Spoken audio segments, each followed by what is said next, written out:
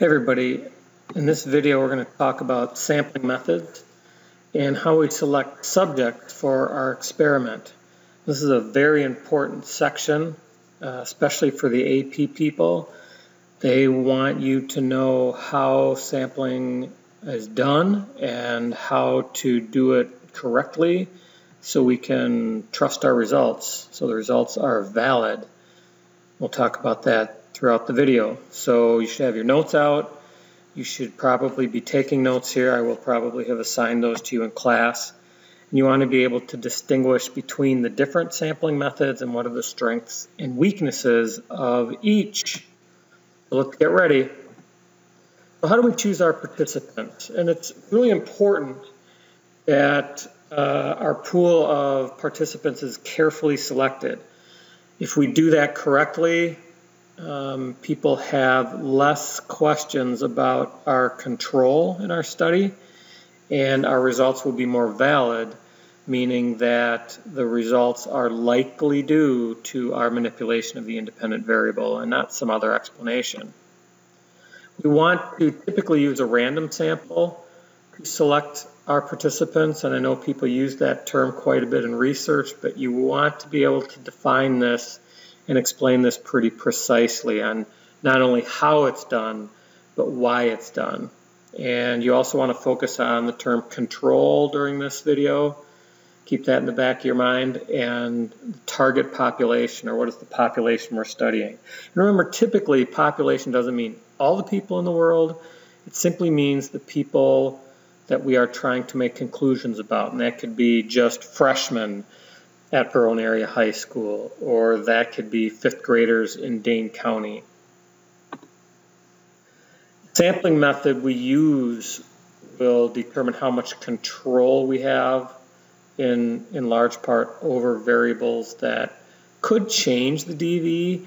We just want the IV to be the only thing that, that affects the DV, but if we sample correctly, um, we can eliminate a lot of other um, factors that could influence DV.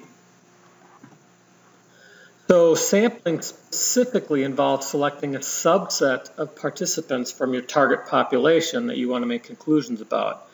And when you're operationalizing and describing your study, you're going to you're going to talk about the population and what group of people this is and how you systematically choose your sample. So when we're sampling, we're focusing on the system or the technique involved for selecting those subjects. Sampling method refers to that technique or that system. How we take this population, say 3,000 students at Verona um, Middle School and High School, and how we select a few subjects from that group be in our sample. We're going to talk about three or four sampling types here, so um, stay focused and make sure you can describe each one of those. Uh, we want a representative sample if possible. And a representative sample basically means that your sample is very similar in characteristic to the population. So our subset, our sample, is kind of kind of represents the the population fairly accurately. It's very similar in characteristic. That way, you can assume that if something happens to the sample in your study, they their behavior changed somehow. Gosh, you know, they were really like the population in a lot of key ways. I bet you if we did this same condition, this IV manipulation for the population, we get similar results, which is really important if you're testing, you know, um, student techniques, how to be a better student. If it works for the subset, the sample, probably it'll work for the population as well. Now here's some specific um, factors that you want to know. Remember, a representative sample means the sample is is going to be similar in key characteristics to our, our target population. And let's say we're studying fifth graders at Verona want our sample of, say, 50 students to represent the key characteristics of all fifth graders in Verona. Say that's 400 students. And here's some uh, sampling techniques. Uh, one of the simple ones is volunteer sampling. This involves participants self-selecting themselves to take part in the study. They could be responding to an advertisement, or they could, could be getting paid. And, and this is probably one of the simplest ways to organize, or one of the simpler ways to organize. You know, you pay subjects, you could even give them candy bars or, or coupons for pizza. But the problem is you, you won't you might not attract all the different types of people represented in the population. Only certain people who are interested in that prize. Maybe it's a candy bar, maybe it's five bucks. Some people might not think five bucks is worth it. So you're you're not getting a representative sample, and that means your group, your subset, could be um, likely to display subject bias or selection bias, in which uh, the sample doesn't really represent all the key characteristics of the population. Another way to select a sample is opportunity sampling. This is probably the most widely used method because it's easiest and most convenient, and you can probably think about what that means. It basically means we gather subjects who are most easily available at, at the time you need subjects or wherever the location of your study. So sample bias and selection bias is certainly likely to happen here as, as only certain members of the target population are likely to be available. So if you're trying to get your sample of, of you know juniors in high school and you're just getting juniors from the commons during lunch for a lunch, you're probably going to have some selection bias. I might use students from a classroom, for example, as an opportunity sample.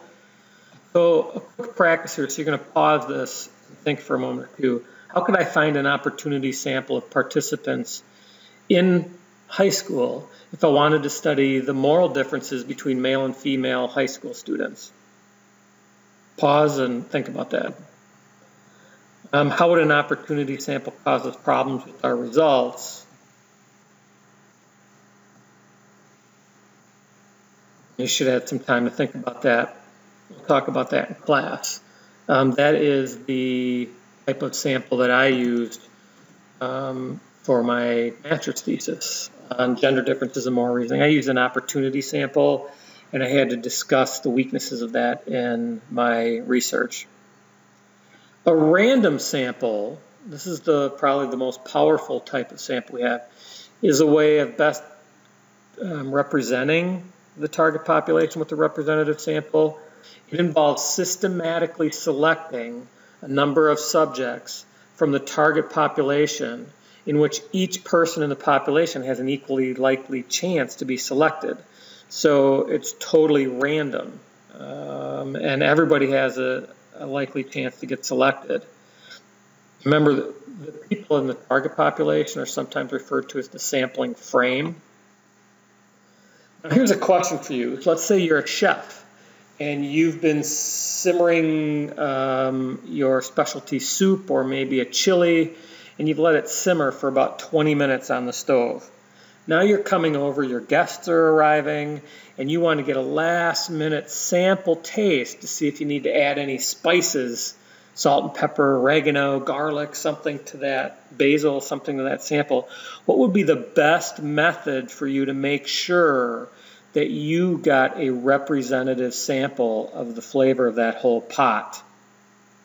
you think about that, and we'll talk about that in class tomorrow as well. So random sample is the technique we use to select our subjects. And this could be with a random numbers generator on a computer um, for large groups, or we could even draw names out of a hat if we're only using, say, 20 or 30 names in class. So either way, um, we're likely to get a, a random sample, which is likely to be resulting in the most valid data from our study.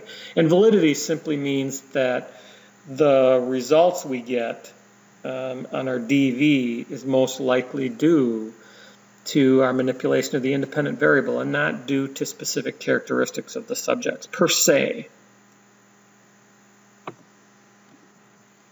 A stratified random sample requires that we randomly select participants from different subsets of the, subsets of the population these subsets like exist in our school could be gender, um, could be age, could be race, could be socioeconomic status. So we've got all these subsets that exist in the population, kind of like a layered cake.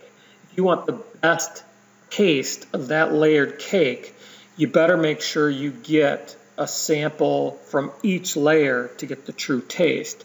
So if we were studying students in high school, the, the senior class, for example, how would we make sure we get, well, let's not even limit it to just seniors. What about the whole high school population? How would we make sure that we that that all class members were represented? So can you think of ways that a we could get a sample of 50 students um, conveniently, opportunistically, volunteer-wise, or a random sample? How could we do this with students at the high school if we wanted a sample of 50 students? So you think about that, and we'll stop our video there. And remember to rewind if you need to, and we will talk about these in class, and we'll finish up with sampling in our next video. Thanks a lot.